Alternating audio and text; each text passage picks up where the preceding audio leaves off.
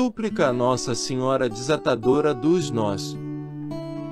Santa Maria, Mãe de Deus, por que, como mulher e mãe, respondeste a Deus, que se faça a tua vontade, contagie-nos dessa força, a força da tua fé e de teu amor.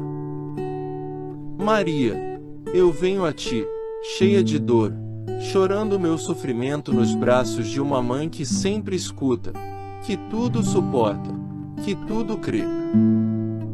Creia, minha mãe, creia em minha dor e em minhas angústias. O que não faria uma mãe por seu filho? O que não farias tu, Maria, minha mãe, para mim? Eu te peço somente para me escutares, que minhas súplicas cheguem a ti, e tu as leve até o Filho bem-amado e que intercedas por mim. Que eu também possa dizer, sim, Senhor, que se faça a tua vontade.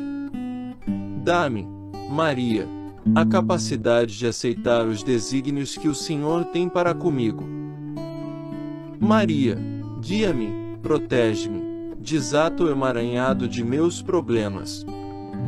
Somente tu liberta, somente tu desatas, somente tu e teu filho podem me libertar da opressão com que vivo, da qual estou consciente que somente nós, homens, somos os que tropeçamos no caminhar do dia a dia.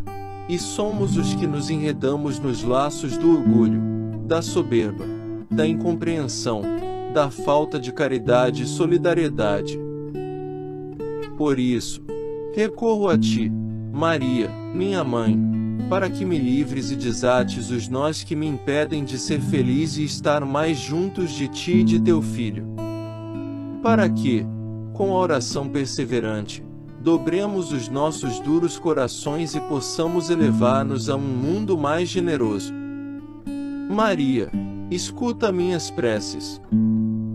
Amém. Ave Maria, cheia de graça, o Senhor é convosco. Bendita sois vós entre as mulheres, e bendito é o fruto do vosso ventre, Jesus.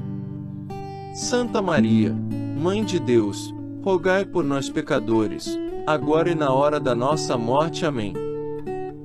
Ave Maria, cheia de graça, o Senhor é convosco.